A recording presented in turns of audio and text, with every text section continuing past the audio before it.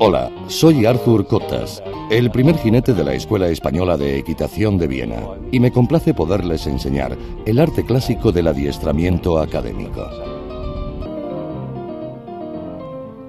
En esta tercera parte les mostraré ejercicios para el jinete y caballo para pruebas de nivel básico y medio.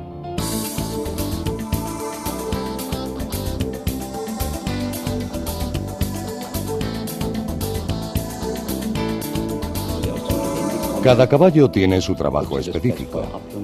Unos se calientan en el campo, otros a la cuerda, unos al paso y otros al trote o galope.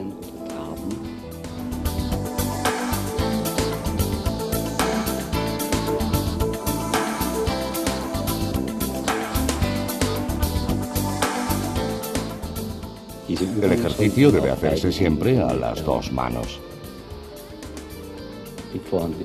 Las manos del caballo hacia la izquierda y el jinete también permanece sentado a la izquierda hasta que cambiemos la incurvación del caballo. También en los cambios de mano a través del círculo vemos que el jinete emplea el asiento, las piernas y las riendas para cambiar la incurvación de derecha a izquierda.